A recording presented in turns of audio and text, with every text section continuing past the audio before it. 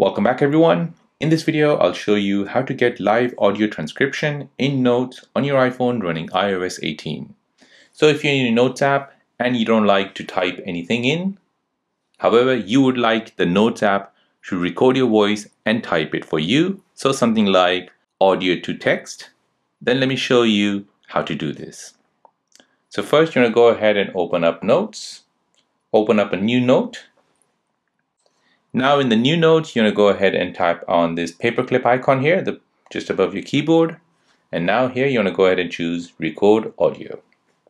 Now go ahead and record your audio. So this audio could be of yourself or maybe you're interviewing someone and it'll record both voices. So let's try recording this. Hi, my name is Karthik. Hi, I'm the Simple Dad. Tap on done and now, as you can see, it has recorded the audio and it has transcribed the audio as well. And as it reads, Hi, my name is Karthik. I'm the Simple Dad. Hello, I'm the Simple Dad. Tapping on the transcript will show you what you've said. And there you go. That is how to get live audio transcription in Notes on your iPhone running iOS 18.